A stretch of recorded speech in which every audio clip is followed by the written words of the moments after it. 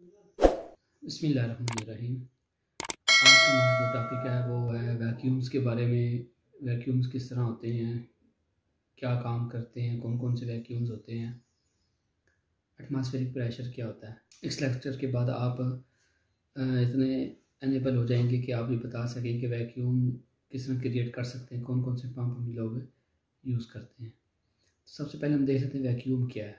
Vacuum जो हमने definition हमारे जहन में डेफिनेशन आती है वैक्यूम की वो ये डेफिनेशन है कि कोई भी एरिया या कुछ, कोई भी ऐसा सिलेंडर जिसके अंदर बिल्कुल भी कोई पार्टिकल कोई मैटर कोई एयर कुछ ना हो तो हम उसको वैक्यूम बोलते हैं।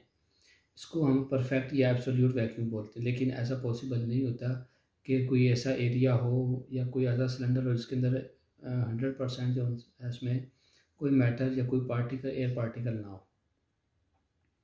तो हम फिर जो डेफिनेशन बनाई, हमने वैक्यूम की वो डेफिनेशन कुछ इस तरह से होती है कि अगर प्रेशर 760 टार हो या 180 एम से कम हो तो हम इसको वैक्यूम को कहते हैं। किसी भी जगह का अगर उसका जो प्रेशर है एटमॉस्फेरिक प्रेशर हम कह लें, या प्रेशर कह लें, वो 760 टार के इक्वल हो या फिर वन एम के इक्वल हो तो हम उसको वैक्यूम कहेंगे कि यहाँ पर वैक्यूम है।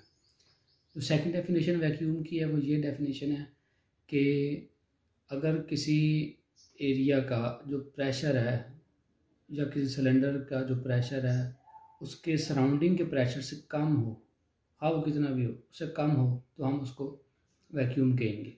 किसमें वैक्यूम क्रिएट होगी है?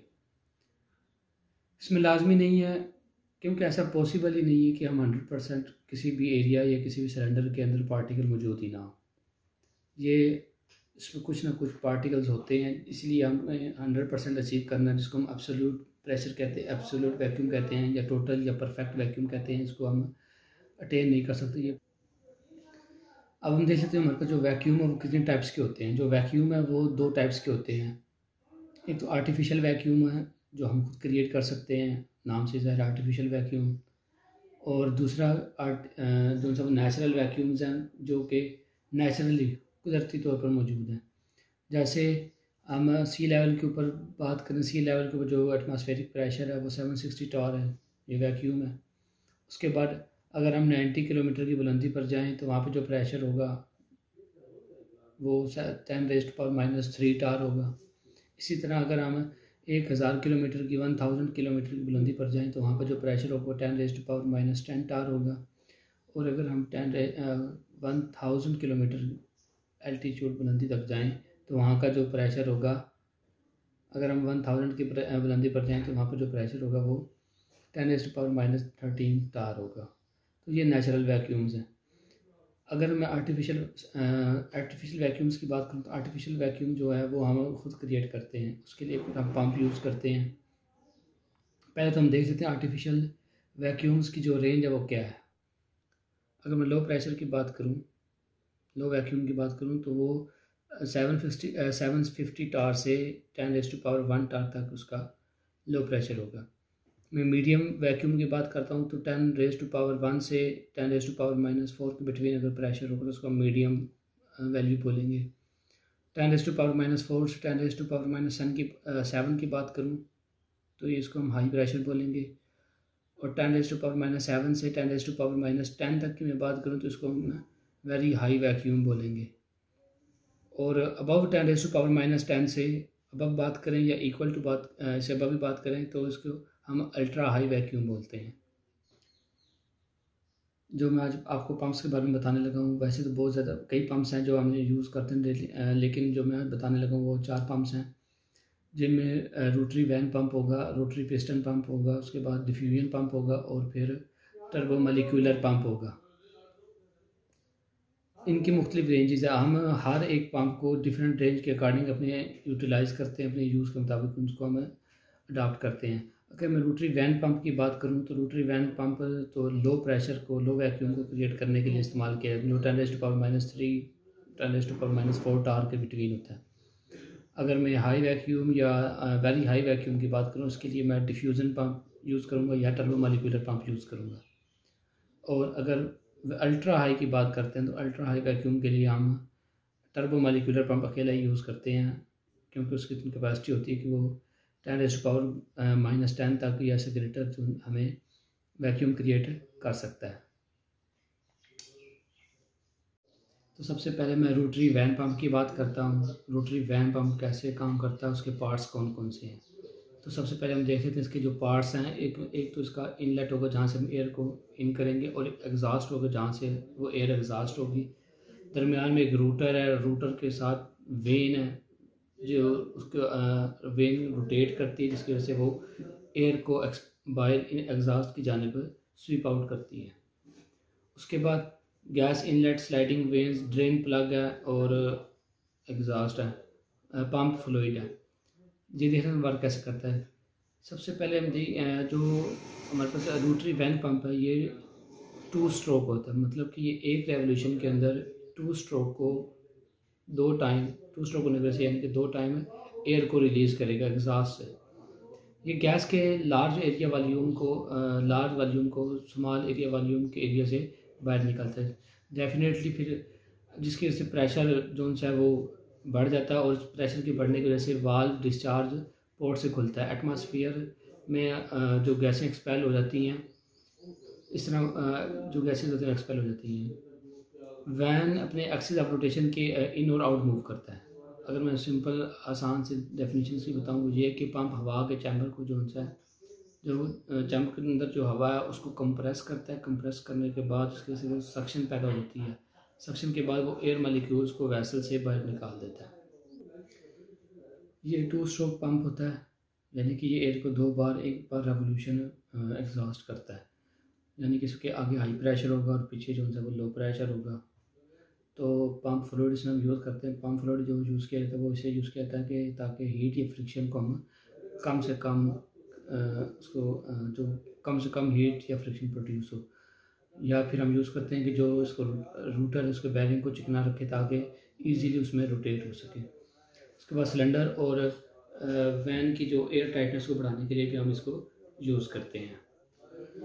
जैसे कि आप डायग्राम में देख रहे हैं कि इनलेट से एयर इंटर हो रही है और फिर आगे रूटर लगा हुआ रूटर जो रोटेट कर रहा है, वो उसको प्रेशर इंक्रीज़ करते हुए इनिशियल प्रेशर लो है, लेकिन जैसे जैसे ये रूटर नाइन्टी अपने परपेंडिकुलर रोटेशन के अलांग घूम रहा है। घूमने की वजह से साथ साथ प्रेशर इंक्रीज़ होता जा रहा है और फिर प्रेशर इंक्रीज़ होने के बाद ये जो हमारे पास एग्जॉस्ट वाल है, यहाँ से वो आउट हो जाता है। क्योंकि यहाँ पर प्रेशर बढ़ जाता है, उस प्रेशर बढ़ने की वजह से एग्जॉस्ट वाल होता है वो ओपन हो जाता है और यहाँ से जितनी भी एयर अंदर मौजूद है, उसको वो बाहर खारिज कर देता है। इसी तरह मज़ीद एयर आती जा रही है और वो फिर इसको बाहर एग्जास्ट से आउटलेट आउटलेट से इसको बाहर खारिज करो इस तरह से हम। Ten's to power minus three या ten's to power minus four तक ten S to power three या माइनस फोर तक का वैक्यूम क्रिएट कर सकते हैं। नेक्स्ट हम देख लेते हैं कि रूट रूटरी पिस्टन पंप इसके अंदर एक पिस्टन होता है जो कि एयर को आउटलेट या एग्जॉस्ट करवाता है। ये इसकी रेवोल्यूशन एक रेवोल्यूशन में सिर्फ़ एक दफ़ा ही एयर को बाहर खारिज करेगा, जिसकी वजह से इसको हम वन स्ट्रोक बोलते हैं। इसकी रेवोल्यूशन बहुत, एक रेवोल्यूशन होती है। एक रेवोल्यूशन में वन टाइम जो है वो इसको एग्जॉस्ट करता है। और ये भी जो है ten to power minus eight R तक ही जो वैक्यूम है उसको क्रिएट करता है। नेक्स्ट हमारा डिफ्यूजन पंप आ जाता है। डिफ्यूजन पंप देख लेते हैं, जो कि हमारे पास ten raise to power minus six minus seven तक के लिए वैक्यूम को क्रिएट कर सकता है।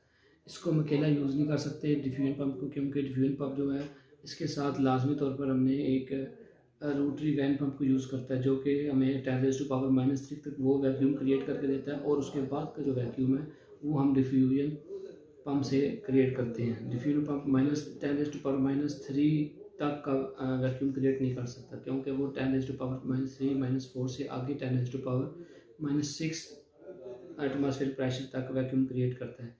इसलिए इसके लिए ज़रूरी है कि हम फोर पंपिंग की जाती है इससे, जिसकी वजह से इसको हमें, इसके पहले इसको लगाया जाता है।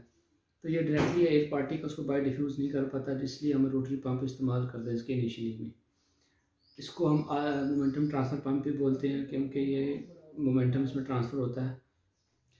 सबसे पहले इसके हम पार्ट्स देख लेते हैं, जो पार्ट्स हैं वो एक तो हीटर है इसका। हीटर के बाद इसके ऊपर एक हमने सिलिकॉन का ऑयल आई यूज़ करते हैं, फिर एक एग्जॉस्ट है, एक इनलेट पोर्ट होती है, और एक इसमें वाटर की स्पेस है।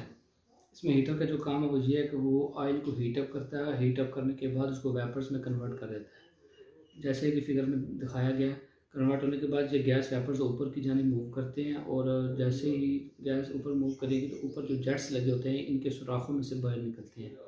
इन जेट्स की जो डायरेक्शन होती है, वो डाउनवर्ड पॉइंटेड होती है, क्योंकि ये जो हमारे वेपर्स होते हैं, उसे टकराने के बाद डाउनवर्ड मूव करते हैं। डिफरेंट डाउनवर्ड एंगल के ऊपर इसको हमने पॉइंट किए होते हैं। फिर ऊपर जो इनलेट है यहाँ से एयर इसके अंदर इंटर होती है, इस चैम्बर के अंदर जो इन वेपर्स के अंदर जो एयर पार्टिकल्स होते हैं, वो ट्रैप हो जाते हैं।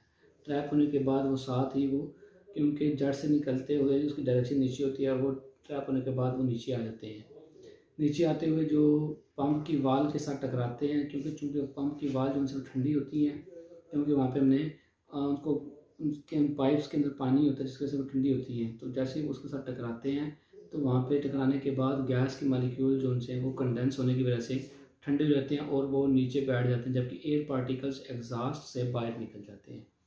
एग्जास्ट से अगर बाहर निकलते हैं तो आगे उतना उनमें इन्हें पावर नहीं होती कि वो उनको बाहर निकाल सके तो उसके लिए हम मज़ीद उसको क्रिएट करने के लिए ten's to power minus three जो कि हमारे पास रोटरी वैन पंप है, वो हम यूज़ करते हैं ताकि वो ten's to power minus three तक का फिर हमें वैक्यूम क्रिएट करे और फिर वो जो एग्जास्ट से जो पार्टिकल्स एयर पार्टिकल्स निकलते हैं, वो उनको मज़ीद बाहर की तरफ़ मूव करवा देता और इस तरह ये हमारा जो डिफ्यूजन पम्प है, वो काम करता है।